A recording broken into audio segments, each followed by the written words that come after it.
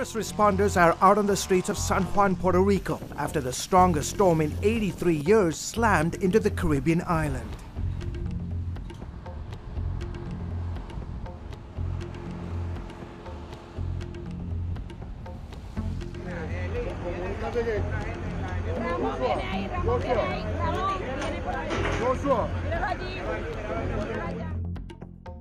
Meanwhile, the US government has started sending in relief supplies, but it's estimated it'll cost some $30 billion to fix storm damage in a territory that was already coping with empty coffers and $70 billion in debts.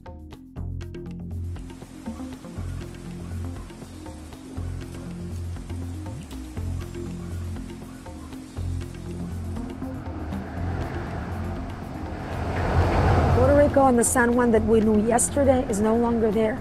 So we have to reconstruct, rebuild, reinvent it. We have to be resilient and we have to push on, uh, if not with our bodies, with our hearts and with our soul.